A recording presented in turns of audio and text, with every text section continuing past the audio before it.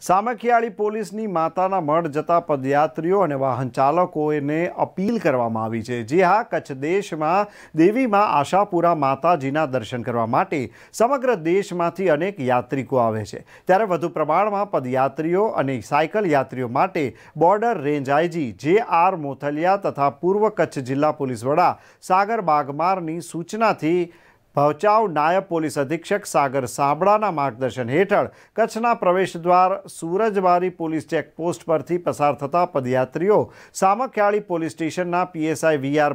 પટેલ તથા police staff Surajbari checkpost પર જઈને ભક્તોના થેલા પાછળ રેડિયમ પટ્ટીના સ્ટીકર અને પદયાત્રીઓને સમજ કરેલ કે બને તેમ રાત્રે ન ચાલવું, રોડની સાઈડમાં ક્યાંય સૂવું નહીં અને વાહન ચાલકોને અપીલ કરવામાં આવી કે હાલ કચ્છમાં, માતાના મઢમાં, આશાપુરાના મંદિરે મોટી સંખ્યામાં પદયાત્રીઓ જઈ રહ્યા છે.